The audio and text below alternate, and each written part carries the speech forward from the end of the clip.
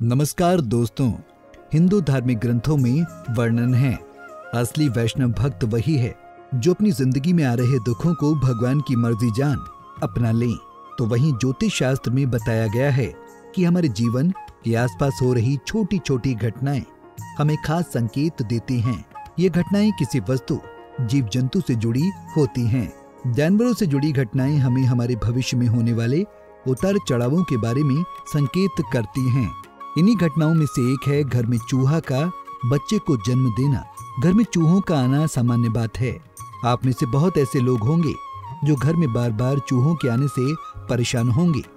वहीं कुछ तो घर में चूहे आने पर उन्हें भगाने में लगे रहते हैं। कई बार तो ऐसा भी होता है कि घर में चूहा बच्चों को जन्म देता है। बता दें इसके बारे में भी ज्योतिष शास्त्र में बताया गया है।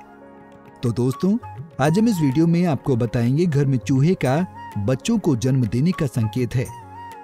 तो आइए जानते हैं। ज्योतिष शास्त्र के अनुसार यदि किसी व्यक्ति के घर में चूहा बच्चा दे तो ये जल्द ही आपको संतान प्राप्ति के संकेत माने जाते हैं।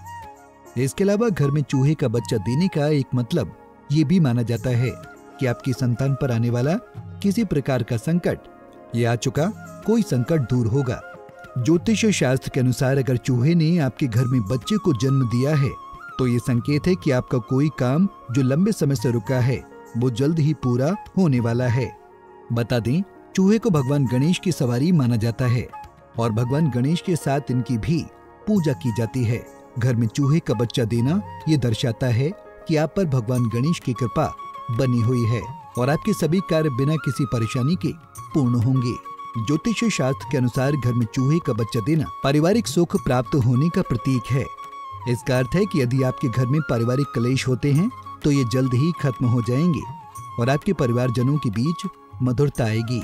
तो वहीं अगर घर में चूहा मर जाए तो ये इस बात का संकेत है कि घर में कोई बीमार पड़ने वाला था या घर में किसी की मृत्यु के संकेत थे, जिसे श्री गणेश के वाहन ने अपने ऊपर लेकर घर के सदस्यों को सुरक्षित कर लिया है। तो दोस्तों, कैसी लगी आपको हमारी ये जानकारी? हमें कमेंट करके ज़रूर बताएँ। वीडियो पसंद आई हो तो वीडियो को लाइक और शेयर ज़रूर करें। कुंडली टीवी डेस्क से प्रिया शर्मा की रिपोर्ट।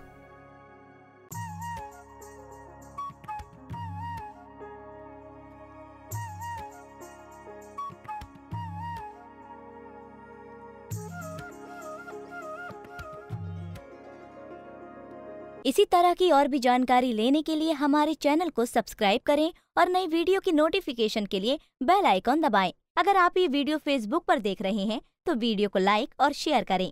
साथ ही अपनी राय कमेंट बॉक्स में ज़रूर बताएँ। धन्यवाद।